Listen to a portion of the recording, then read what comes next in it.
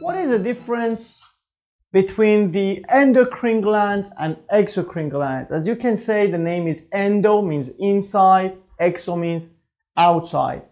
Uh, this is referred to the to where the secretions of these glands enter into.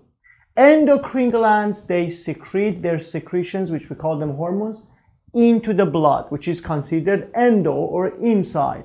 And exocrine glands, they produce their productions or their secretions outside, not into the blood, outside. When I say outside, means outside the body or inside some of the other organs such as digestive system or lungs, respiratory system, which is considered outside the body.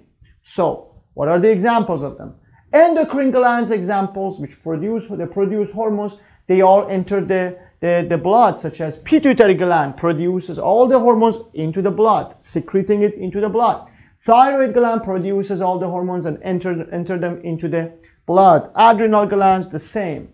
But what are the exocrine glands example? Exocrine glands is supposed to send their stuff outside the body or inside the other organs. Such as what? Such as sweat gland.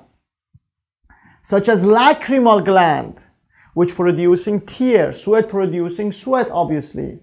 Uh, uh, such as, uh, such as, uh, um, such as the oil gland or sebum glands in the skin producing oil, mostly in the hair follicles uh, such as the organs are inside the digestive system. Sorry, glands are inside the digestive system, such as the glands in the stomach.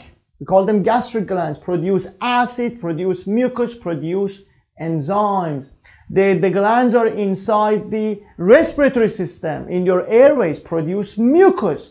These are all considered exocrine glands. So I hope you understand the difference of endocrine and exocrine glands.